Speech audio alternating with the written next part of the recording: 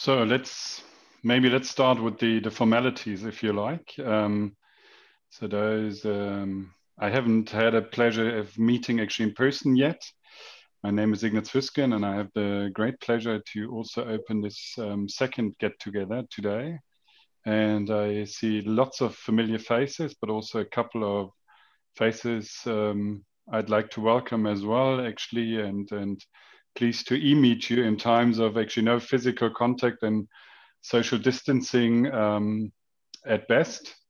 And um, a warm welcome to all of you making um, time available. Um, some of you um, also at, at very difficult, actually, um, in, in, difficult times in terms of actually time zones. So thanks for actually accommodating that and, and being yeah, being patient. We try to rotate and, and make it work for everybody, but obviously uh, there are too many time zones on this planet in order to actually find a great spot for everyone. Nonetheless, um, the um, welcome today, and I'm very glad actually to um, see that our three presenters have joined today. Um, welcome, um, Larry. First of all, um, next to next in the far right corner on my display, at least. Larry will um, talk about um, collaboration, and before doing that, he will actually briefly introduce himself because I'm quite sure he can do this much better than I could ever do it. So, therefore, um, a warm welcome to you, Larry. And um, thank you, Ignaz.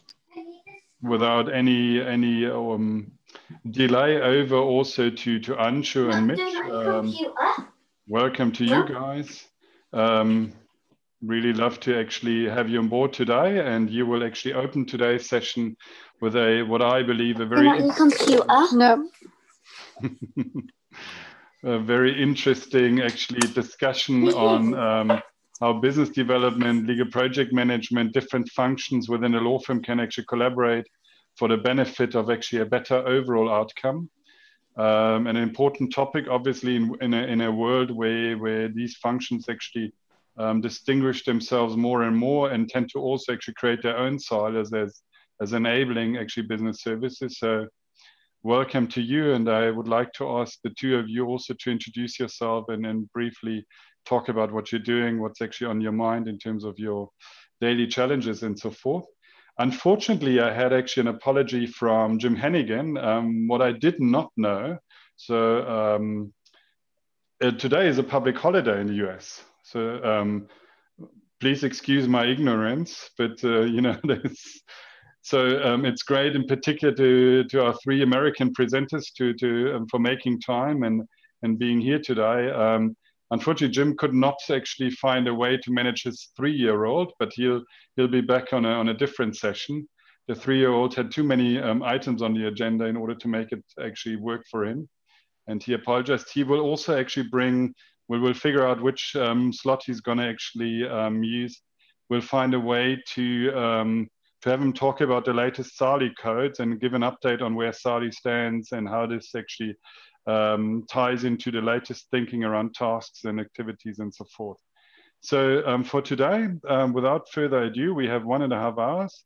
I'd like to hand over to Anshoo and uh, Mitch for a brief introduction and then actually presentation, um, you should be able to share your screen. Otherwise, in terms of ground rules, it's always great actually to have cameras on to see that there's some live people and not some actually just some names actually popping up on the screen. If you have questions, please either raise your hand or um, ask the question directly to the presenters. This is actually meant to be interactive, not just actually a, a um, front row lecture. So um, please use the opportunity. And over to you, Anshoo and Mitch. Thank you. Um, and thank you for having us. We, uh, we're really happy to be here. Um, it, it's interesting how this all kind of culminated into an article. Um, Mitch and I have been collaborating for years, and this is a topic that's really near and dear to our hearts. Um, and specifically for me, because collaboration sparks innovation, and that's a, re- a key area of focus for me at, in my current role. Um, and LPM is actually the launchpad for innovation in many ways, um, lending itself to process improvement, thinking about how we can explore technology innovation and, and looking for opportunities to be more efficient for our clients, including exploring ALSPs and, and thinking through um, even process mapping and how our attorneys can be working more efficiently. Um, and in doing so, focus on higher value work. Um, and so our chapter is really a culmination of our mutual efforts to bridge the gap between our, our two departments so that we can be more strategic in the way we generate revenue, but also really impact profitability in a meaningful way. Um, and we really feel strongly that during a time of sustained remote work where we're not actually in each other's offices, we're not walking down the hall to think through um, how to solve a problem, that's even more important to break down silos and to think about how we can be working collectively to enhance client service delivery. Um, and I personally, um, in looking at what's happening in the industry, I, I feel that the pandemic has really accelerated the need for LPM. I'm noticing that um, our clients are coming to us at a much more rapid pace, asking for estimates, for budgets, even if they're not looking specifically for alternative fee arrangements. Um, they really are looking for greater predictability and transparency and efficiency from their law firms. Um, and as we all know, uh, um, LPM has become kind of table stakes. It's what the clients expect of, of, us. But the goal really in, in breaking down silos and working more strategically with other administrative functions is to be able to enhance the LPM function and be more strategic. And so, especially in the last six to seven months, the way we pitch for new work um, has changed, and we almost need a new set of processes and approach to winning new business that safeguards us from revenue leakage while meeting our clients' expectations, um, and that we are minimizing write-offs as much as possible. So we're being as accurate as possible when we price. Um, so throughout our presentation today, we're going to focus on the crux of our chapter, um, where which highlights that when LPM is embraced throughout the entire life cycle um, and is, is, um, is done in collaboration with functional groups like uh, mar marketing and business development, we can greatly enhance client service delivery. Um, Mitch, do you want to add anything there? Sure. Yeah, actually, Anshoo, just before I get to me, do you want to give a? I, I think we jump right into it. Do you want to give a little background on your role and of the firm and and because you've you had really amazing experience and I think it influences what we're talking about. Sure. Um, sorry. So um, I have been at Blank Rome for just a little over 10 years.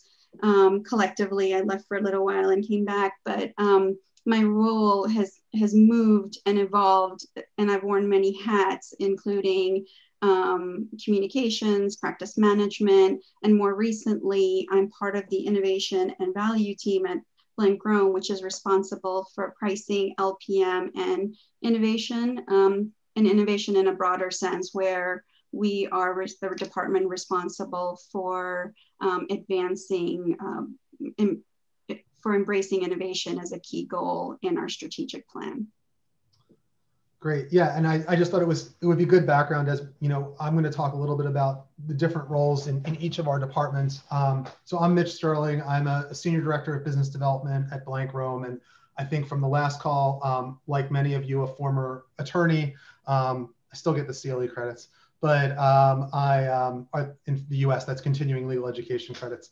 Um, so I uh, I had been a real estate lawyer in a prior life and um, always had had an interest in marketing and, and business development, and eventually kind of transitioned over to the the business side of law firms. Uh, first at Morgan Lewis for nine years, um, and at Blank Rome for the last four years.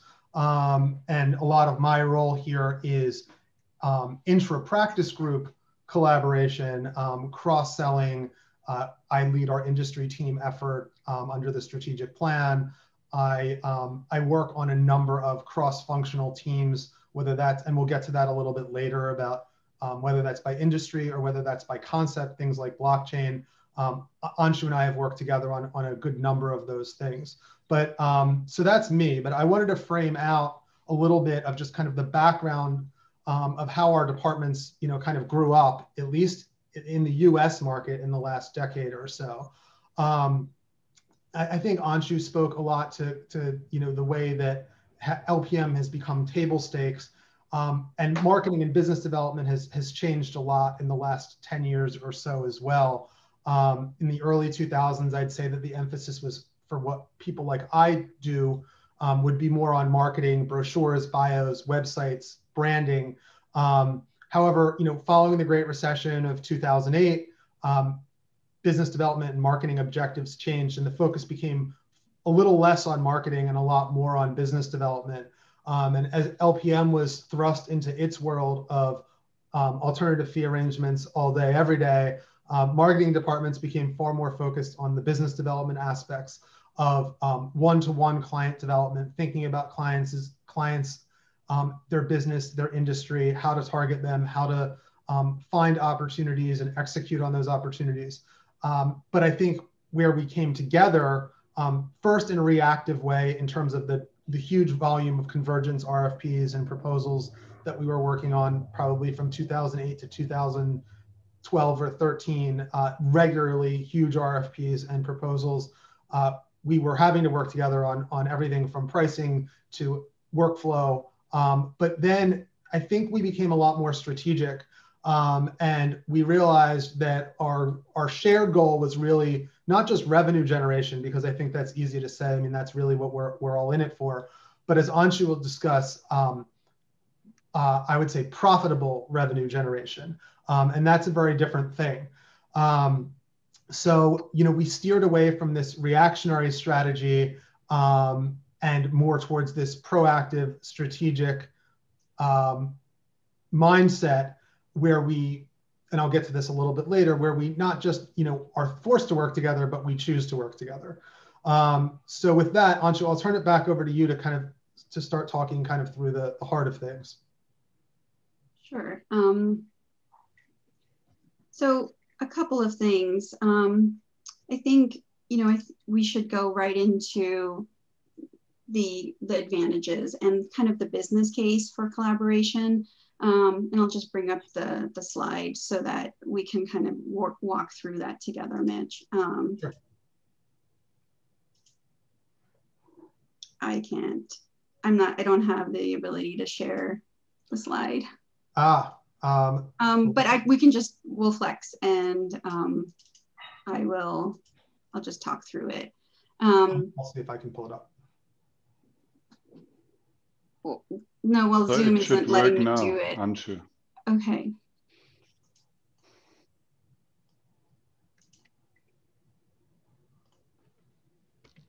Okay, give me one second.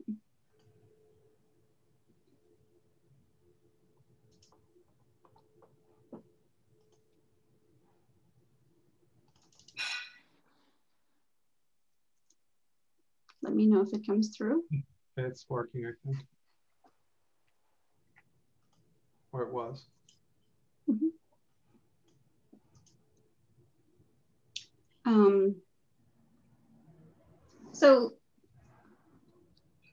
you know, sometimes collaboration just seems like it's a um, it's a term that you use may speak to because it it seems like it's something that you would focus on for your culture because you want a culture of collaboration and of teamwork.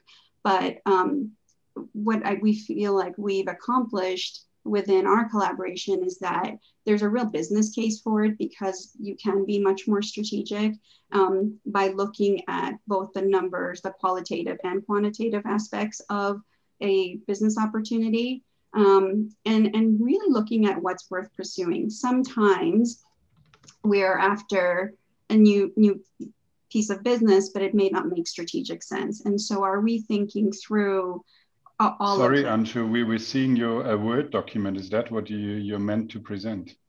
Oh no, I'm trying to show the slide. This is also lovely. This is. One second. And I've lost my Zoom.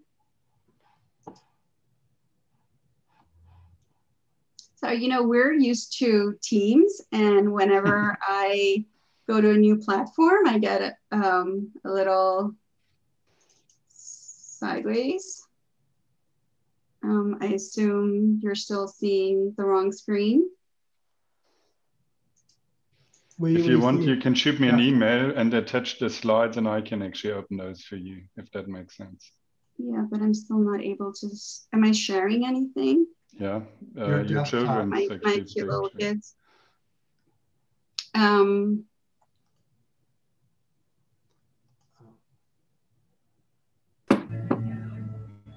so hang on one second. Um, Tell me if that comes through okay. There we go. Perfect. Yep. Okay.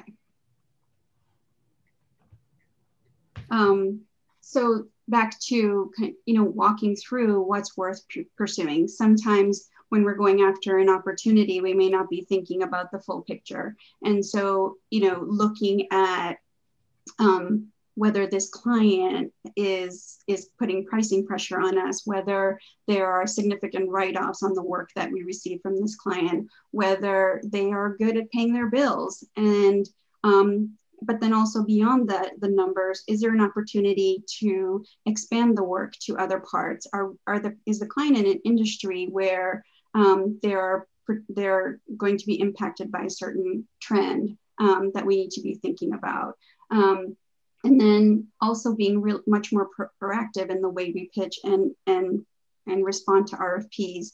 Um, the way RFPs are produced now are so different than it used to be. Um, there is a huge pricing and LPM component and innovation component to many of our RFPs. And we really need to be thinking strategically through how are we communicating value and is the price aligned with what the client's expectations are? So, for example, is the client more price sensitive or is it outcome driven? And what are its business objectives? And um, are we looking at all that full round, the full picture of what the client story is when we're making these um, proposals.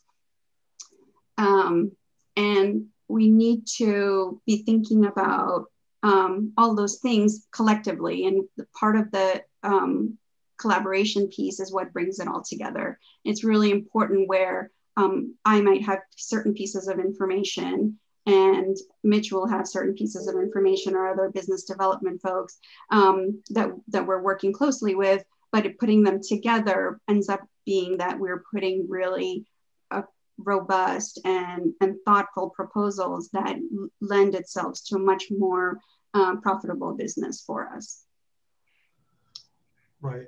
And um, you know, just I think that one thing that I that I'll add there is is just the um, you know taking a closer look at our different perspectives. Um, you know, at least in my experience in, in the larger US law firms that I've spent time in, uh, marketing professionals tend to be larger, a little bit larger than what we've got in terms of LPM resources.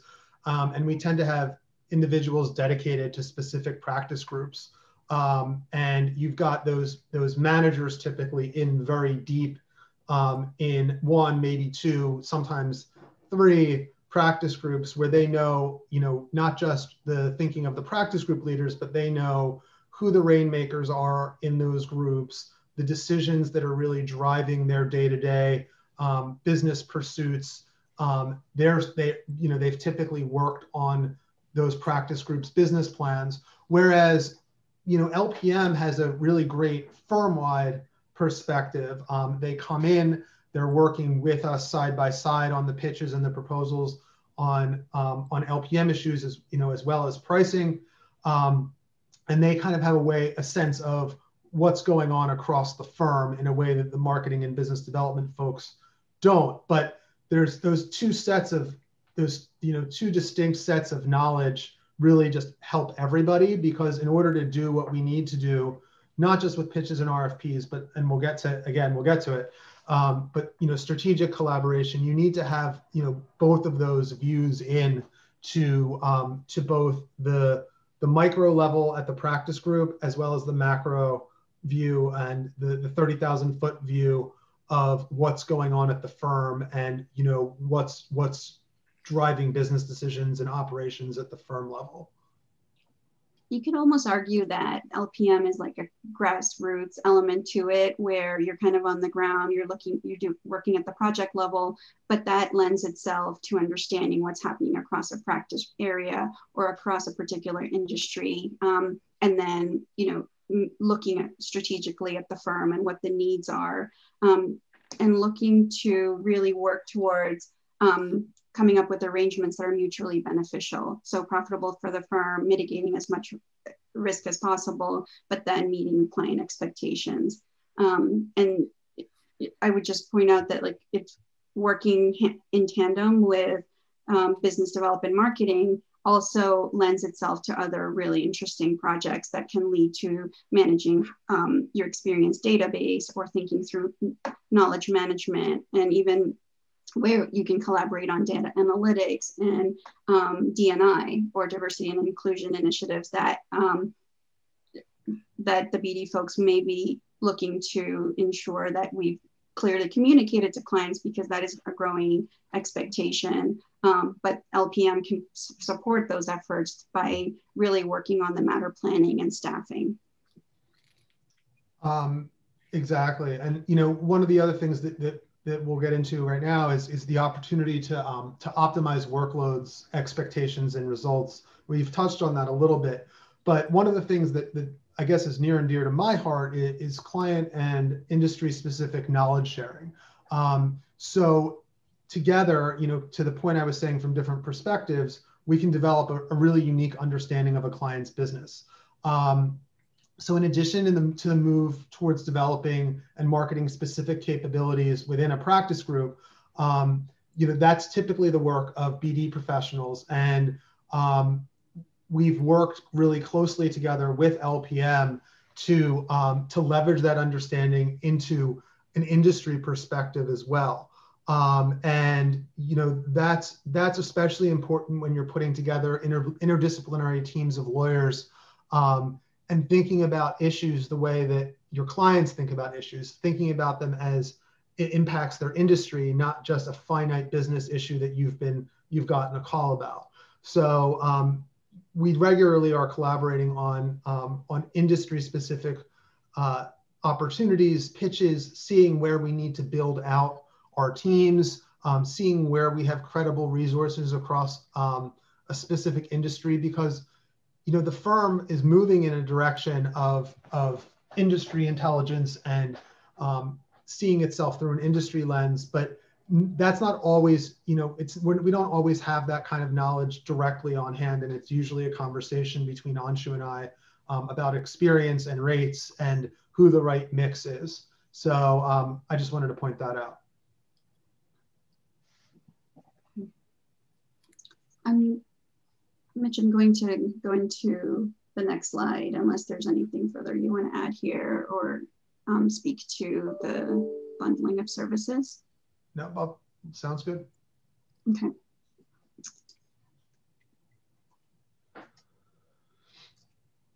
So this this graphic really, I think, brings everything kind of full circle from our perspective. Um, the complementary role of LPM and business development is this, it really shows this, um, I don't know what just happened.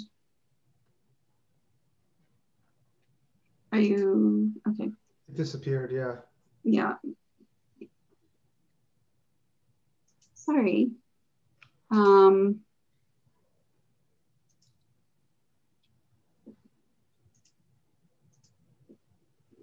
Is it coming through now? Not yet. No.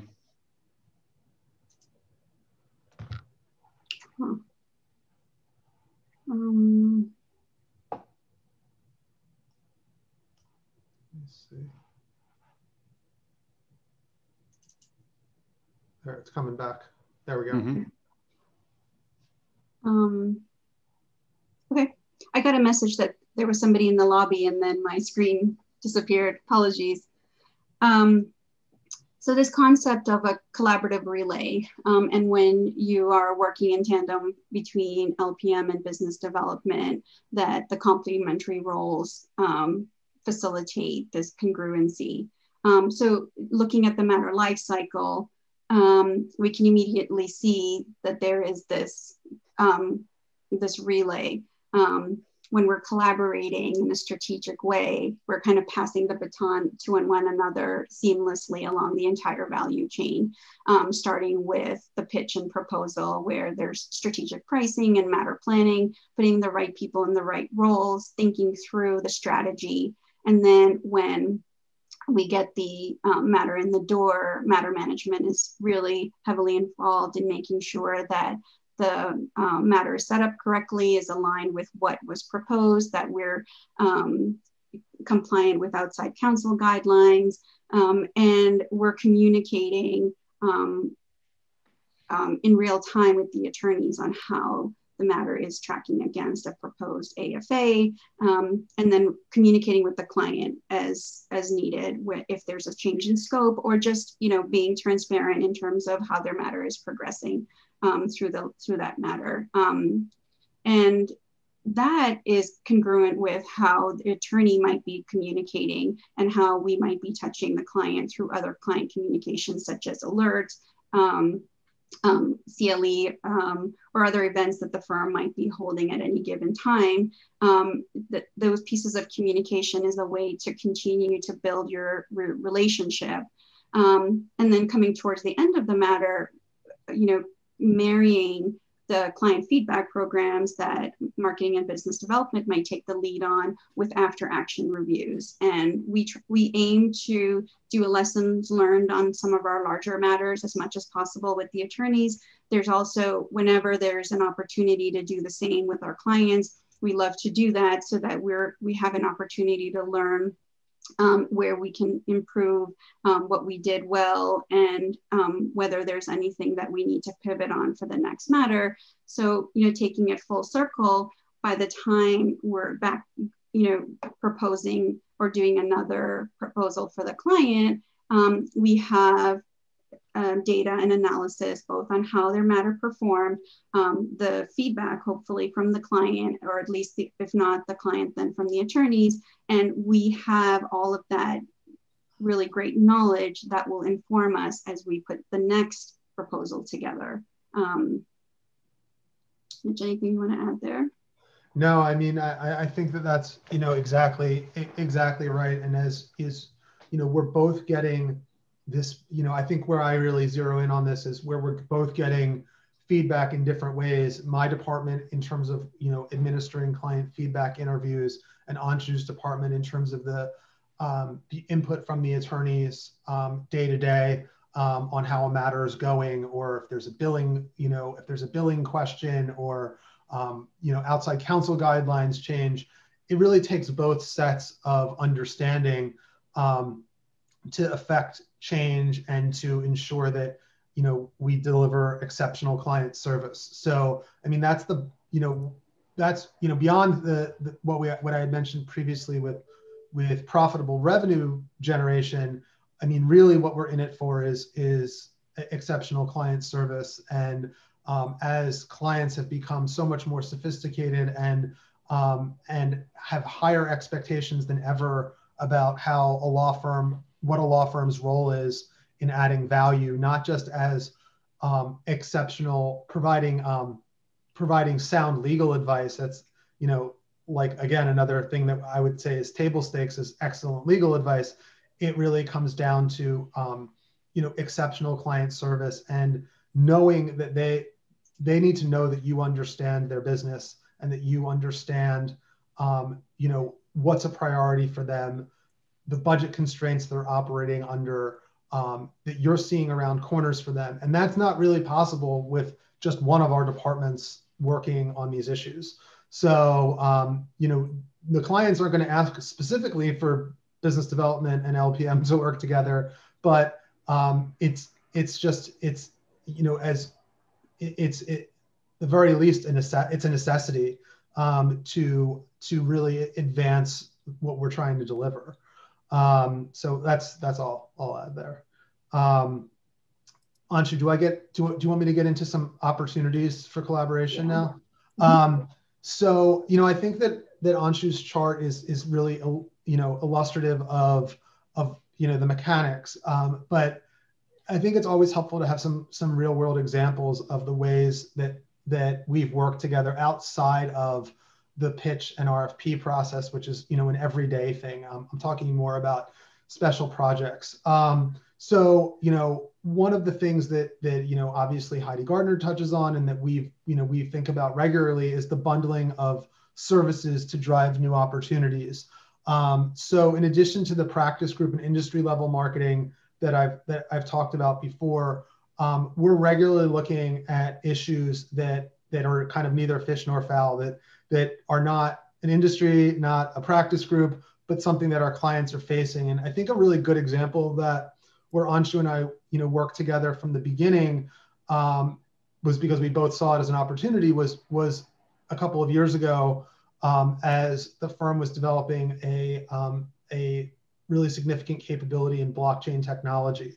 And blockchain technology is one of those things that it's, you know, yes, there's clients that are, you know, that that operate, you know, on a black that that have their own blockchain platform, et cetera. But it's really an issue um, more than it is a, a, one specific practice because it touches on everything from um, regulatory issues, um, securities issues, um, technology, IP, all of those things need to kind of come together. Um, so Anshoo and I work together to, to build out a business plan for that, understanding what lawyers we would need to bundle those services together, um, what markets we'd need to be in, the rate sensitivities, um, you know, what our offering looks like compared to other firms that we were competing with. Um, and most importantly, probably is, you know, developing budget and measuring ROI um, which we were able to do successfully um, without the luxury of, of you know built-in capabilities that would exist you know in terms of practice and matter codes on you know a more traditional practice group so um, that was a really great opportunity um, that you know blended strategy and marketing and business development but also lpm and um, and business planning uh, in a way that no one told us to do this. We we decided ourselves to to do this. That to write a really solid business plan, it wasn't going to be it, you know it wasn't going to be someone from practice management. It wasn't going to be one person from business development or LPM. It needed to kind of reflect a multidisciplinary view because one point I guess I want to make here is that the when you're presenting these things, these are not you know things you're doing for just one random partner. This are, these are things that make their way all the way up to the management committee of the firm and the department heads and some of the key decision makers in the firm. And they don't really care, you know, not to be blunt, but they don't really care how you get there, but it needs to be a really well developed, well rounded approach that that is, you know, well outside the capabilities of any one business professional um, at a firm. It really requires the level of collaboration that we're talking about um, to, you know, to to hand them something that they can sign off on comfortably and know that we've considered all angles for them. Um, so we did, we, you know, we really do a lot there. And I mean, that's really one of the, that was really probably when Anshoo and I first started talking about, wow, we should really write an article about this um, or, you know, do a webinar on this. So that was kind of how it, you know, one of the ways where we really identified the importance of what we were doing together. Um, and the other thing is um, strategic plan uh, visioning and execution. Um, Anshoo and I both have a seat on the firm's strategic planning and implementation team. Um, we have different perspectives. Um, again, coming from what we had talked about with, you know, practice group knowledge versus project knowledge and firm knowledge. Um, but together, we're working to set the firm objectives um, and realistically um, execute on them and you know we're we're working with a big group of lawyers and you know we're some of you know we're we're in the minority as business professionals in in terms of you know being having a seat at that table but we've I, I think we've successfully demonstrated our value to that group and our ability to think about things a little bit differently um, and to propose you know real world solutions um, and talk through you know some big scary changes or or, or you know going in a new direction um, and giving the lawyers some comfort around that so um, Anshoo, I know you've got some other opportunities for collaboration as well. Um, yeah, how are we doing on time? I feel like we've been do we yeah. want to open it up for questions? We have other thoughts on how, you know, opportunities to collaborate, but to the extent that um, anybody has specific questions, we're happy to open it up now. Any comments or experiences from from the audience?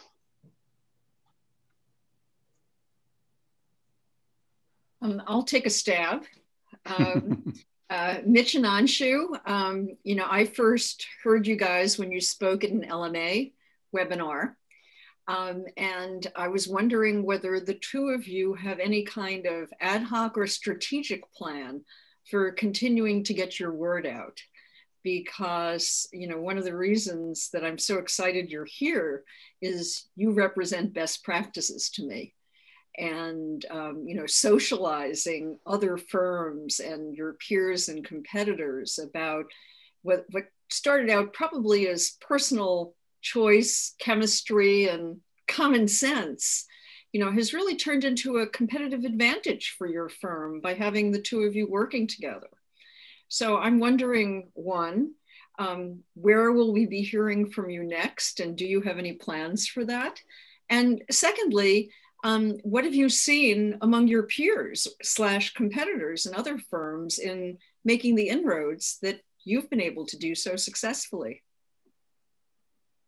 Um, uh, I, me, I'll take a shot at it first, Anshoo, but please, please jump in. Um, so, well, I think that this was a really nice, natural next step um, for us, Aileen, uh, in, in terms of uh, you know, kind of going to a, a much broader global audience with our with our message. And and thank you for you know uh, the necessary introductions. We um, we you know we've been we finished you know we did our draft of our chapter, so that's been that's taken some time. I um I, in terms of next steps, um, I actually just got the email again. The one that the one that kind of begat all of this last year was the LMA's call for speakers. So um, I was actually thinking I haven't even Anshoo and I haven't even talked about it yet, but whether there's a sequel in the works or a part two on that platform, um, of course we'll be we're open to further suggestions or opportunities. Um, you know, if anybody has any ideas, we you know we've we've certainly um, we've certainly continued since our presentation in June or July to to work together regularly, um, especially on the strategic plan elements.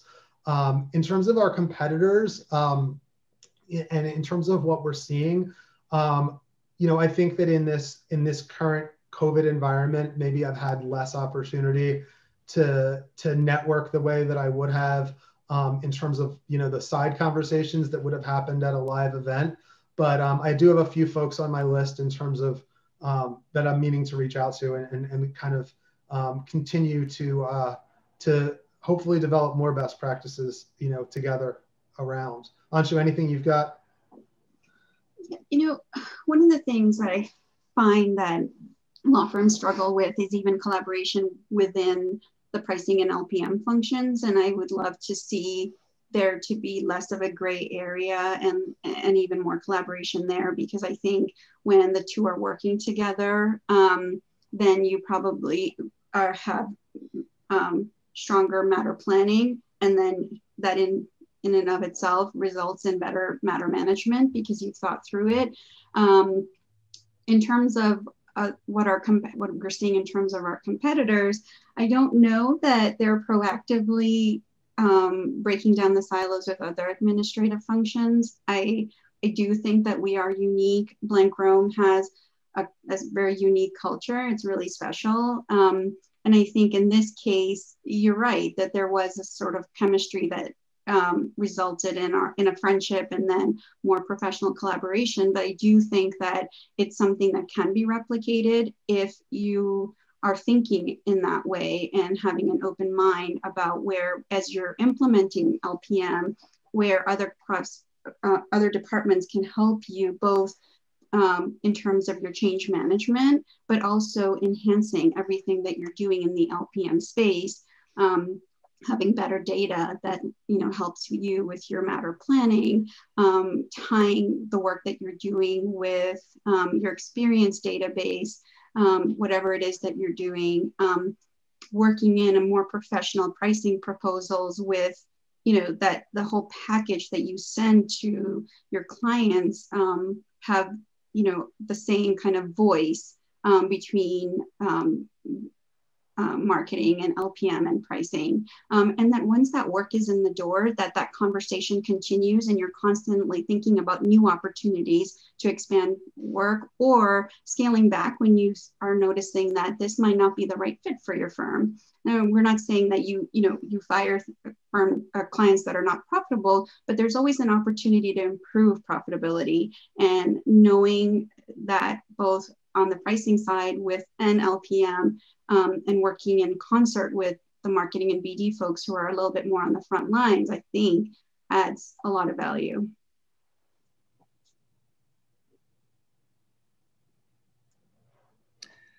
I could just uh, chime in just for a second. Uh, I also work at a large law firm um, in the uh, LPM group. And I think it's really interesting in the industry as a whole to see a lot of experimentation with how to align uh, pricing LPM uh, business development. Um, and I think a lot of firms and kind of other providers are experimenting with, uh, you know, what kind of sets of alignment work best. Um, in the firm that I've been at, uh, we originally had uh, very separate kind of discrete functions, and the pricing and LPM function kind of came together within a finance group. Um, and then both of those teams kind of moved into a client development group uh, for exactly the reasons you were talking about earlier in terms of you start working together on pitches and proposals and then you kind of see the value of continuing those conversations and really being more proactive um, as you're planning for kind of doing all of these things better so. Yeah no thanks uh, it's uh, it's always interesting to hear you know some different perspectives and large law firms. I mean, they're they're similar, and then you know my experiences I've had it too. I mean, they're very they can be very different also in terms of you know how Morgan Lewis's approach to, to LPM was very different than Blank Rome's and you know departments and chiefs. It's all structured so differently, but I think that the goals are all the same. So um, so yeah, the, that's interesting. One thing maybe from from this end i mean i remember um, my time pricing was actually sitting in business development funny enough. So legal project management was actually reduced more to sort of the planning function and overall practice management. And one of the things we i think we've never actually managed to figure out how to do it actually um, in a most efficient and effective way was clearly how to rope in finance. So there was an understanding between the lpm function and the bd function in order to to bring it together in terms of client value and, and sort of delivering the what has been actually promised um, during the, the pitching stages. But finance never actually uh, bought into the story. I mean, in particular, those actually looking after managerial accounting, the cost center structures, and so forth, and sort of adding anything. So, what's your um, actually take on on on this aspect? I mean, have you made any yeah. observations in that regard, or found any solutions? Most likely. Anshoo so, may have more. Oh, sorry. Go ahead. Go ahead, Anshoo. Yeah. So the for us, the LPM function is relatively new. Um, it's about I've been in the role for a year and a half now, um, and so while there was a pricing infrastructure, the LPM infrastructure we've been building, and we um, and when I say that, I mean you know we're re- really great at getting the matter planning done and getting the proposals done. But then once the work is in the door, making sure that we have systems in place to really track and uh, against budgets and automating um, notifications. And that requires a lot of collaboration with finance, with our business intelligence teams. Um, and so that's what I love about the LPM function is that we're constantly looking for process improvement and breaking down silos because um, for LPM to be successful, we need to be speaking the same language with the intake team, with the billing team, and the marketing and business development team. Um, and it's kind of like the entire value chain from when we pitch the client to when the client sees the bill, because even the bill is a way that the client experiences us. And so we need to be thinking holistically about it. Um, so we aim to be very transparent within the cross-functional group as, as a general rule of thumb because in order to for the role to be successful, um, we need their support. And, and one thing, just to pick up on that last point of transparency, that, that I think is one of the great things that our firm does is that the business developers have full access to the finance databases. And we can pull and manipulate that information along client lines, along multiple ways. And um, not every firm does that. Not every firm is willing to turn over the keys to that. Um, you know, the I guess the look, the the transparency and the view into that.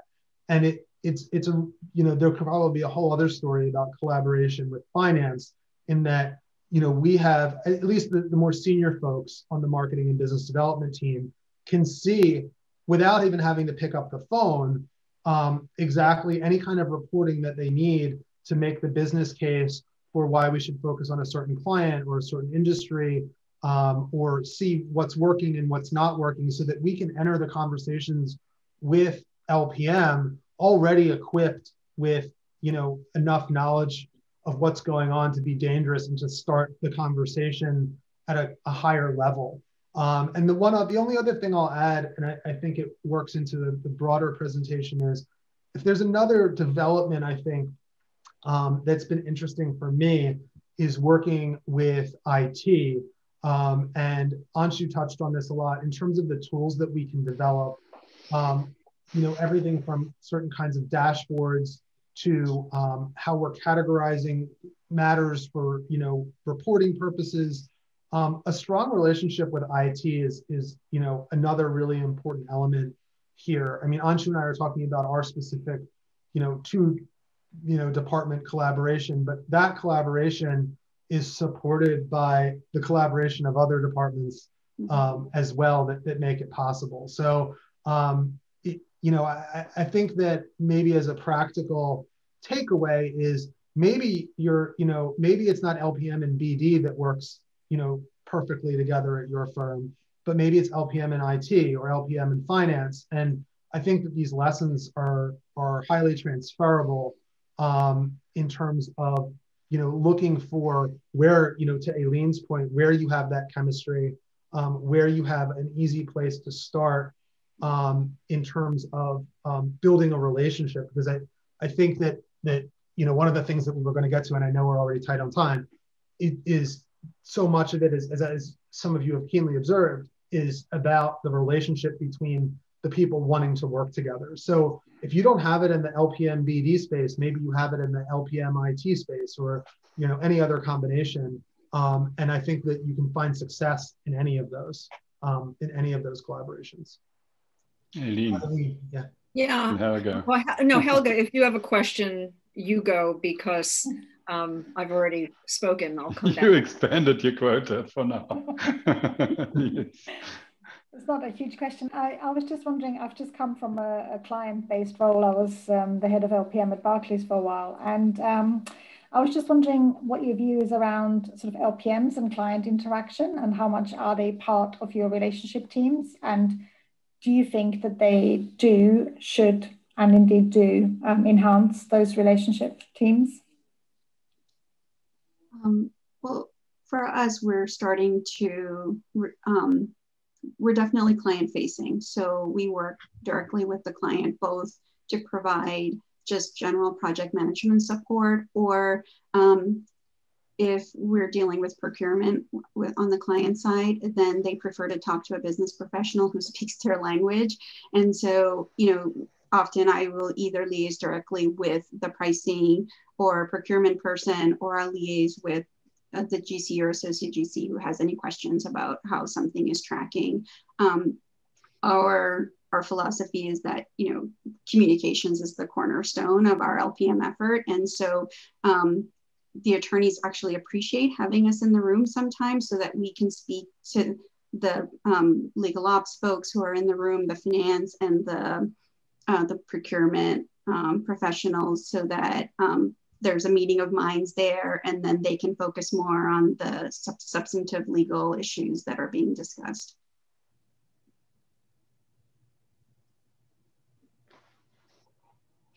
Aileen, your turn. You're muted. I was actually going to ask um, a question about one of the other stakeholders. We haven't talked about the lawyers. Um, um, you know, I mean, the area that I've spent time in that has been very controversial is with the after action reviews. Um, you know, because people immediately assume that it's not about lessons lost, learned and about improvement, but it's about finding fault. Um, you know, nobody wants to ask a question they don't know the answer to uh, when you're dealing with lawyers. So I just would appreciate it if you would make some brief comments where those stakeholders fit in. Yeah, I mean, so I, I guess I'll start out because I mean, the, the client feedback efforts, in the formalized client feedback efforts live in my, in my department. Um, and we've really developed a campaign, you know, that is, you know, one, we've tracked our our revenue as it relates to client um, feedback interviews and you know can show a very clear uptick um, in the number of engagements and the revenue that comes as a result of of those interviews.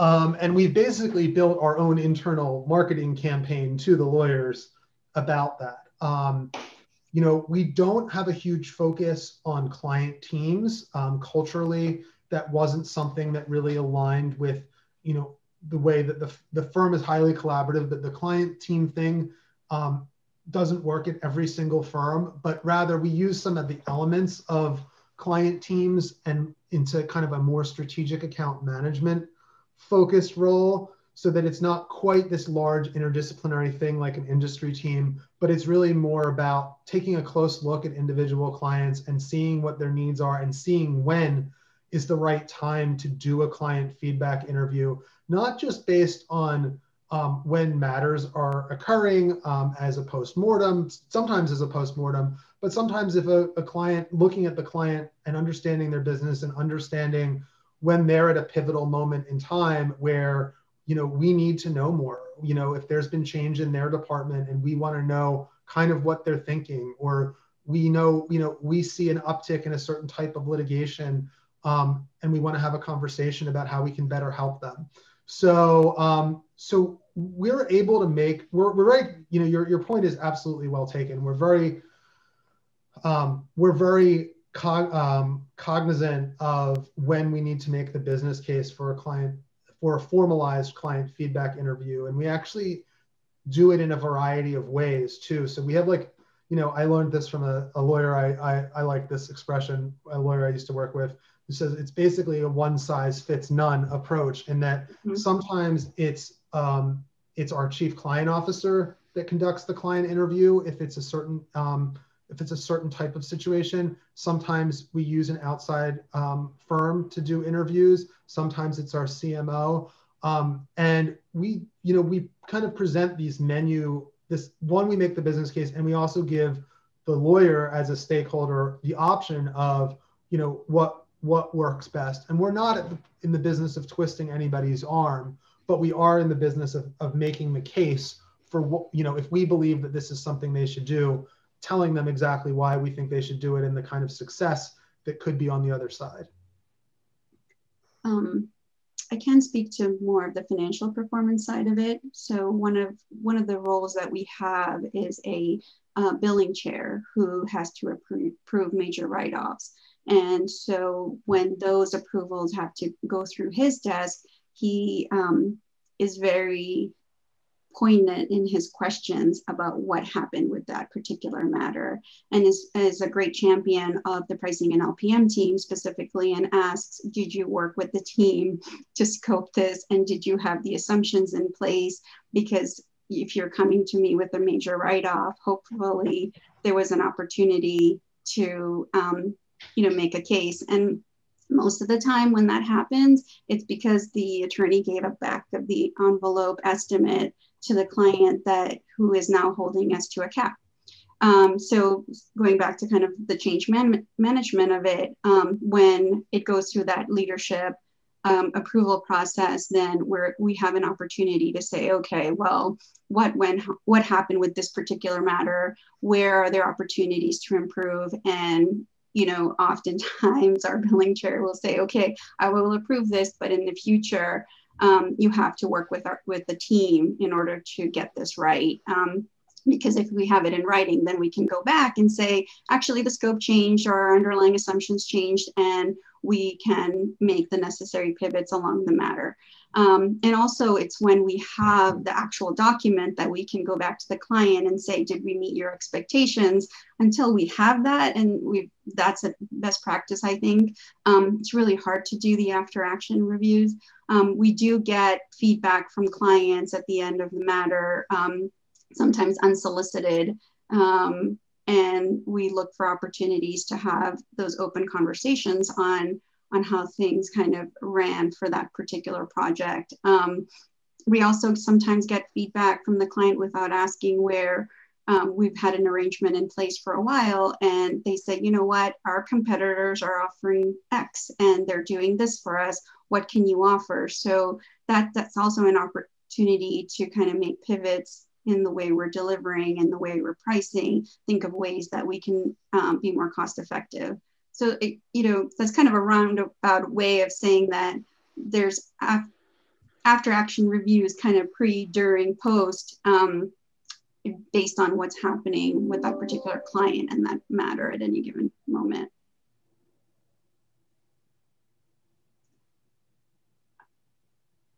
Um, I'm sorry, but I have to run. I have. Yes, I, I was about to say. I mean, the um, thanks for for making the time today and and great insights. I mean, the session will be recorded for those who have missed it, so um, there will be an opportunity to actually just uh, yeah for you guys also to catch up on the second part of it. Thank you so much for sharing your insights actually with us and. Uh, yeah, the um, Aileen, you asked what what can be done actually with um, others, and and you know, since Larry actually is uh, teaching LPM at Vanderbilt, I mean, Larry, how do you in, uh, incorporate actually those insights into your um, course work? I mean, is there an opportunity that you see?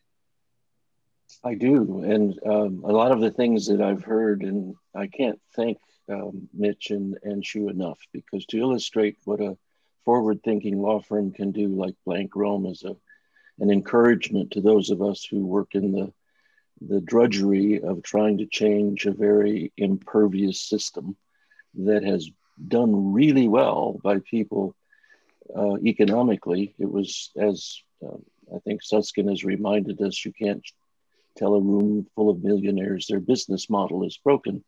Because it's worked so well, it's very difficult to adjust expectations. So most of us work in that realm of trying to persuade people to do something different that they've never experienced.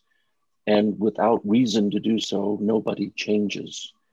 There were some phrases that kept coming up in your sharing with us, Mitch and Anshoo, that I just want to reiterate. And the first, of course, the whole topic of this time together today is collaboration. And it is an oft misused word that uh, stands for a lot of things that really aren't collaborative.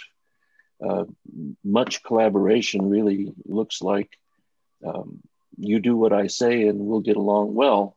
And now we're collaborative. Well, that isn't, of course, collaboration. So, uh, to, to Ignaz's point, uh, at Vanderbilt Law, we created a program. I helped co found the program on law and innovation. And it's more than just the mechanics, it's really about the mindset.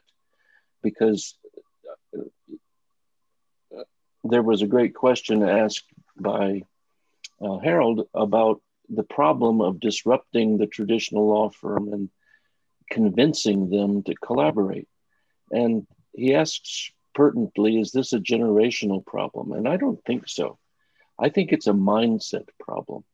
And when we, as referenced in the conversation prior to now, have people who are oriented to thinking differently about how to get things done well for economic benefit, that's an opportunity. I was very encouraged by reading the work of Geoffrey Moore, who wrote Crossing the Chasm as a uh, as a disciple of Christian Claytonson at Harvard Business School. he helped me see that our work is really not focused on those who are unwilling to change because the status quo is working well for them but it's it's a focus with people who have crossed the chasm of, of doubt and have embraced an opportunity that they perhaps have not experienced before, but are looking for help. So when I realized that my opportunities to help change this very intransigent system resided in those who have already crossed the chasm, my life got a lot easier. And uh, that's what you heard Mitch and, and Anshoo say. They're not trying to change the ocean by boiling all of it. They're reacting to the places of need and they're building the data to demonstrate the process is of economic value. You, as Deming said, you can't improve something you can't measure. And when they can now go back to the executive team and show them that these initiatives are actually improving the economic well being of the firm, there's not a lot to argue with. And in the process of that, people will cross the chasm. Of that, I'm sure. The inevitability of this shift of selling time to selling value is inevitable. It has occurred in every other industry. We're just the outliers in law. Our clients will continue to put pressure on us, and in some jurisdictions, more pressure than others. Uh, I, I have a lot of opportunity to work with people in the UK, and they've crossed a chasm in terms of understanding the business methodologies that will better serve law firms and clients are really grounded in efficiency. Legal project management is a far more familiar phrase to the folks in the UK legal service industry than it is to ours, because we're still very firmly fixed on the economic value of selling time. And um, there are a couple of other phrases that I, I just want to touch upon that I think are key to finding that alignment that allows us to help change an industry. And one of those was change management. Anshoo mentioned it, Mitch man, uh, mentioned it. If we're not in the business of knowing how to change institutions, which doesn't happen globally and in one fell swoop, it happens where there are people whose influence is significantly uh, appropriate to change the ecosystem within which they work. If they happen to be early adopters, then there is our opportunity. And as we build that momentum, we can continue to build the data that makes that change pers- uh, persuasive to others. So I, I just want to show a couple of uh, slides. Uh, if you don't mind letting me, I would appreciate that. Yeah, yeah. So it should work now, I hope. Okay, let me try. There we go. Let me um, get to, why is it not showing? You know, the technology always gets us, doesn't it? Let me find, okay, let's see. Okay, are you seeing the seeing slide? The screen, yes. Okay, good. Well, this word of collaboration has come to mean something radically different to us over the last nine, ten months. If we were to talk about collaboration a year ago, we would not have experienced COVID. And as a result of our journey into massive collaboration and the digital tools that allow us to do so, two things have happened. We've become, as an industry, more familiar with how technology can be of assistance and more open to its use. But we've also incredibly enhanced the degree to which digital data is being generated at an exponential level. Uh, there was a time last year when it was projected that by the end of next year, digital data would double every day. Well, that has now happened in less than six months because of the incredible reliance that we've had with respect to internet. This is a interview. I'm not going to play all 17 minutes of it. You'll get the slide. I encourage you to take a look at it.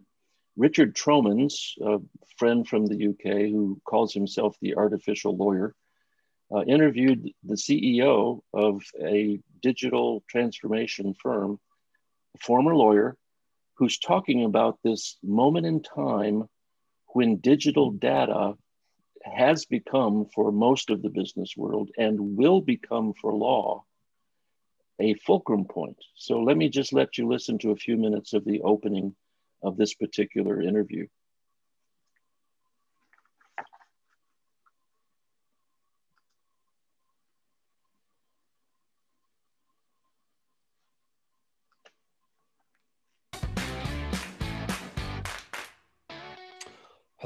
Uh, Richard Tromans here again at Artificial Lawyer TV. Um, today we're talking about the digitization of in-house legal teams. Uh, with us is Sarvarth Misra, uh, who is the CEO and co-founder of ContractPod AI. Uh, hi, Sarvarth. Hey, Richard. Great to have you on the show. Um, you probably know more about how the in-house legal teams of the world are transforming than many other people because they're your client base and you're, you're working with them every day. So first of all, let, let's just sort of set some basic terms. So what do we mean by the digitization uh, and transformation of an in-house legal team? What, and what does that actually look like? Yeah, no, well, firstly, thank you for the time and happy to be here uh, for sure. And uh, let's dive into digital transformation. I'm going to try to keep this as brief as possible, but hopefully give you a couple of points here briefly. I mean, when we think about digital transformation, uh, it is a phenomena by which, uh, firstly, businesses are able to digitalize and, in many cases, automate their data and processes uh, by adoption of technology. Uh, digital transformation also in now in the new modern world is all about a new operating model which has technology at the very center, if not a technology first adoption model for sure. Uh, and another final point around digital transformation in general, which most of us sometimes forget when we get into these programs, is that it's a change management program. Uh, and more specifically, it's culture change uh, within, within organizations. Uh, and you know that's that is quite uh, quite something to achieve. Uh, and I think sometimes all of us get obsessed with just the technology aspect of it and but forget, you know, the change management side of it and culture management side of it. Uh, it's certainly uh, something to keep in the mind. And when I talk to customers and customers talk to us, that's pretty much in the front and center of their thinking. How will this work? Uh, and you know, specifically with lawyers. I mean, I'm a I'm trained as a lawyer by background. I was a corporate M&A lawyer, uh, and you know, we were we were trained to be risk averse, uh, us lot. Uh, so I think when we think about digital transformation, there certainly is uh, the fear of failure uh, getting into it. So I think it requires a lot of thinking uh, before getting into it. And that's what certainly I recommend to customers. And where we've seen successes happen with digital transformation, it's where really folks have thought about this They've thought about change management. They've talked, thought about adoption. They've thought about how do you incrementally do digital transformation as well. So let me stop at that and um, just think for a moment as you consider technology. The Gartner organization, for those of us who are tech geeks, has created what it has relied on for a number of years to analyze legal technology and its state of readiness for the industries that it seeks to serve. As a, as a technologist, and I'm not one, I'm not a computer engineer, I'm not a data scientist. I just love people who are and try to understand and work with them. You can be pretty enamored of your next big thing. And technology tends to go through this hype cycle, which Gartner has well uh, articulated over time. And to my knowledge, for the first time, took a look at legal technologies this year And the cycle references, if you can see at the bottom, there is a trigger that an innovation generates, but it quickly creates inflated expectations of its success. And that's a rapid rise. So, whether it's blockchain or cryptocurrency, you name the particular kind of technology, it's followed this path. But after it reaches the peak, it falls into this trough of discouragement or disillusionment because it doesn't meet those hyped expectations. AI, alternative or artificial or augmented intelligence, however you want to define it, was such a technology and is such a technology.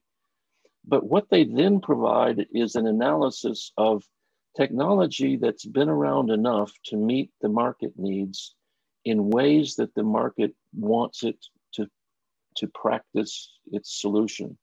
And that's the slope of enlightenment in order to get you to the plateau of productivity. Those are all their phrases.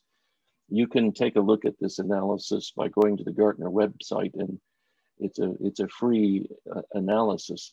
But what they've identified in this is that in this time, and it's really, I think, attributable to COVID and our remote work, the technologies that are now becoming market ready include legal man- matter management, enterprise management, which is uh, an organization's managing the tools and technologies that are beneficial for the business purposes of the enterprise and then integrating those that can help achieve the business purposes. That's not a single platform, but typically a combination of platforms and technologies, but they're business specific to the organization. And predictive analytics, one of the most powerful parts of the AI family, as well as process automation, in Gartner's view, have now reached the point that the legal industry is ready to adopt them. And I think that's an enormous challenge and opportunity for us. But going back to the Geoffrey Moore analysis or analogy, none of this is going to make sense to the vast majority of legal professionals. And when I use that term, I mean everyone in the legal industry, whether they're business development, marketing, um, professional development, IT, anyone working in the industry sector of law, in my view, is a legal professional. It's those that have awakened to the idea that things can be done better, faster, cheaper, with greater profitability. Those terms don't have to be mortal enemies. And this is the moment in time for us, for those of us in legal project management, to become more persuasive in our ability to show the value, not merely of technology. Technology never solves a problem. It can only support those who are trying to solve a problem. And so, where problems arise within a legal department in a corporation, which tends to be the most innovative segment of our profession today, or in a law firm like Blank Rome that is recognized, it needs to be uh, recognized among its competitors and clients as a law firm that gets it and is doing things differently. We have an enormous platform from which to encourage collaboration. And uh, because I've been invited to do so, and, and Ignaz is uh, incredibly kind, I want to introduce you to a technology that was built by a lawyer, that's me, who is a legal project manager and who teaches legal project management, along with my colleague who is a PhD in computer science and artificial intelligence. If, if you would like to be a part of our beta test, which will run from now until the end of the year, you can go to that website, dash4law.com, and fill out the Google form, and we'll get back with you. But when I say beta user, I, I need to be very clear. Dash is not ready for the market. But those who are sophisticated market users can help us make it ready for the market. And our goal is to do so by the first of 2021. So if you care to join us in that, it would be deeply appreciated. But that's your choice. And we'll talk if you choose to do so uh, about how you can get there. So let me just give you a very, very brief um, exposure to Dash as it functions. Let me see if I've got the right view. I do, I think. Are you seeing the screen now? Are you seeing the, the Dash screen?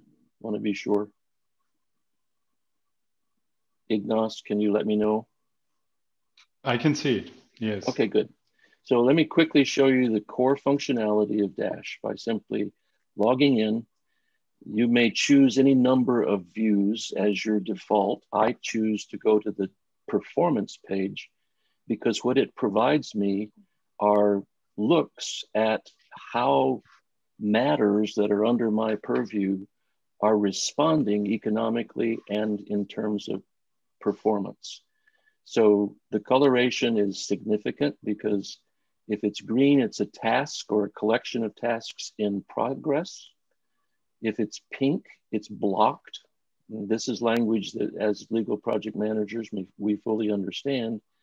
And then we can also look at its budget performance. And these are aggregated numbers, which if we choose to discover what's beneath those numbers, we can click and we can see the tasks that are in that state or have performed to that level. So that's my choice of the beginning, but let's look at others and go to the task board, which you should find familiar because this is the Kanban view that enables us to see both by due date and by status the tasks that we have knowledge of or responsibility for with the capacity to shift and change in any of the swim lanes that we've created. And if you need more than four, you can. I like to go with open tasks, those that are in progress, meaning they're being worked on, those that have encountered some obstacle that needs to be addressed, and those that are done. And that's yet another view. And throughout the system, you can see your tasks listed in list view, in calendar view, in Kanban view, and in the aggregate in terms of how they're performing. And it's a template based system so that you can create templates for any set of tasks, or if you have templates, populate them, and you can drive planning through the use of templates. For example, here's a deposition template, which as I can see uh, has a number of estimates in terms of its uh, economics. So let's add a matter, create a new matter, but based upon the deposition template. So let's just say that this collection of tasks is the deposition of a key, key witness that's the task. But because it's a template, you can also choose the client to whom it belongs and you can choose the relative degree of status. You can also begin, if you care to go to this detail, provide an estimate of the work effort that references hours. And you can choose the firm if you were a corporate client and you can choose the due date that this set of tasks has to be completed. And because it's a template, it's going to incorporate all of the other components. Is this a litigation? Yes, you can choose a priority. You can choose who's responsible as a lawyer or administrator or project manager. I'll make myself responsible. And I imagine that the total billing for this set of tasks will be about $4,500. And it arrived on today's date, and it is intended to um, be accomplished according to, I forgot something, sorry. It, according to the time frame that you've built into the system. So um, I won't go any deeper into it. You can see the tasks, you can see all of your matters, you can see all of your clients and all of the firms with whom you might have any relationship. And in all of these pages, you have the opportunity to do a search. Um, if you can't find it readily, if it's not visible, uh, you might look for a firm by a name or a contact, and it will show you those clients or law firms. If you have them, you can find them. If you don't, you add them. So I'm going to stop because we're close to the end of our time. Um, just point out two other things that the system does, and that is to get out of email, you can message people uh, related to tasks, related to matters, or just individually. And you can also create online meetings through Zoom or Twilio or inter, uh, integrate with other platforms that you might be more useful, uh, such as Teams. So I'm going to stop and uh, let you all take a shot at me and ask any questions that you may have and uh, invite you to join this journey with us if you choose to do so. Thank you, Larry. If there are other questions, I have one for you. I was wondering how the AI component uh, would actually um, add to this. I mean, just give us an idea what you plan to do with AI in this in the context of uh, this project management tool. And I didn't even pay you to ask that question, but thank you, Ignaz. That's the perfect question. Well, um, as my remarks indicated, my co-founder is a PhD in artificial mm -hmm. intelligence, and so it's the data, right?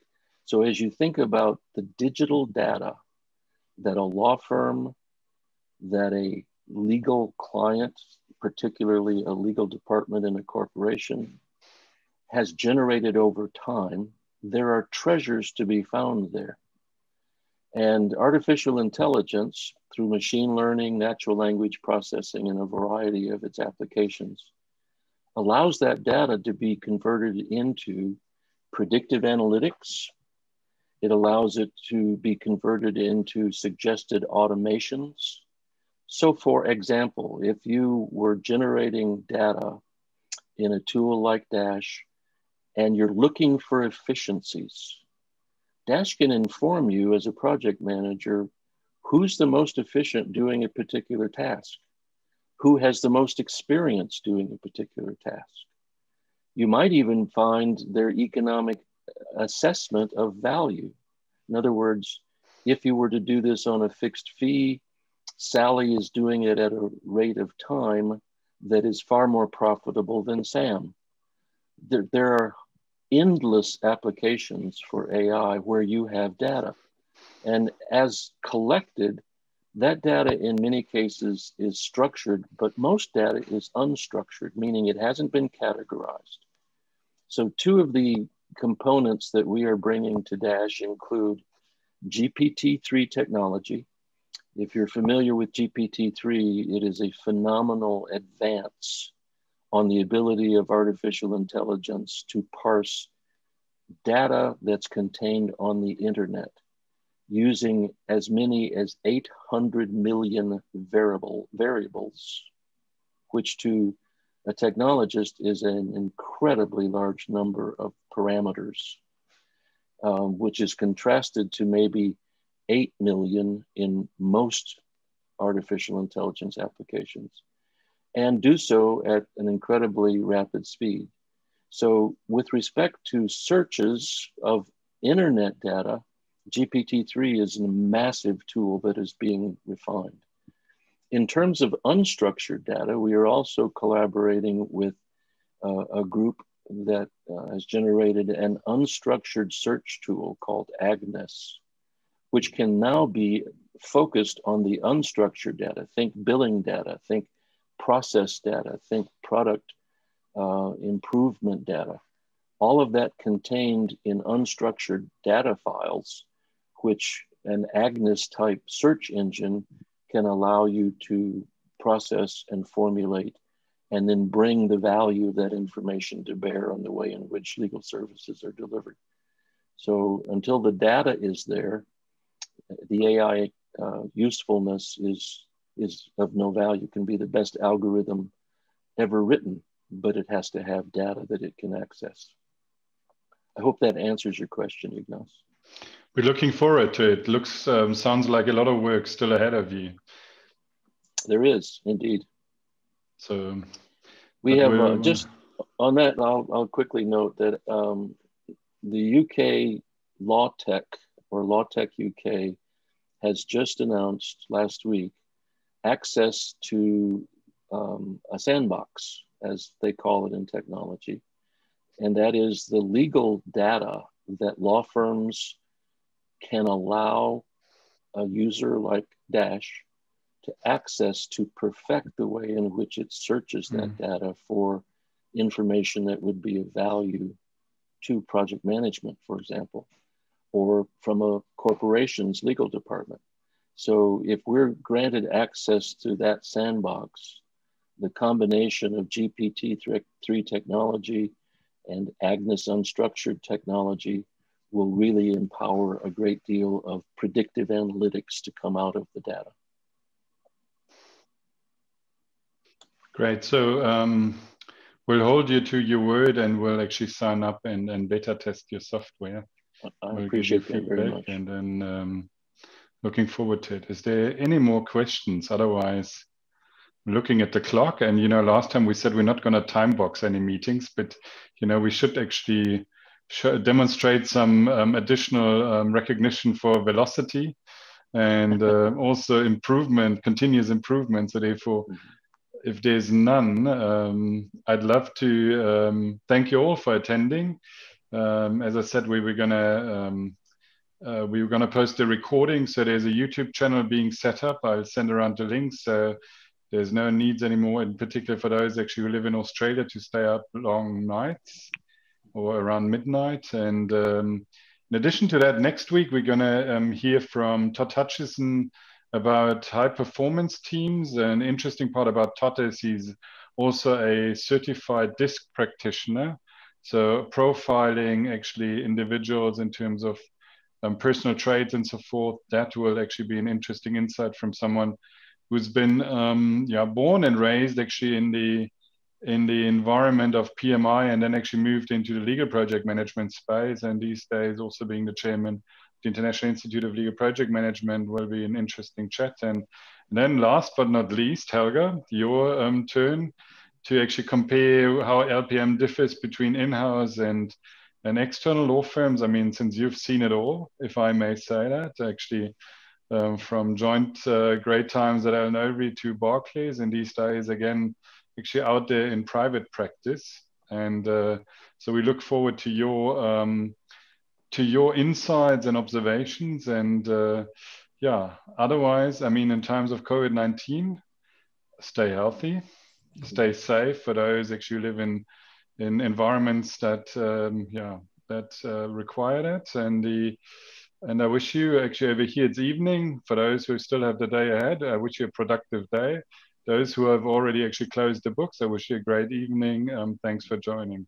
All the best. See Thank you, you Ignaz. And you. do you mind sharing that Thank slide you. deck with the participants? I will do that. Thank you. Thank you. Thank you. Cheers. Thank you. Good to see you. everyone.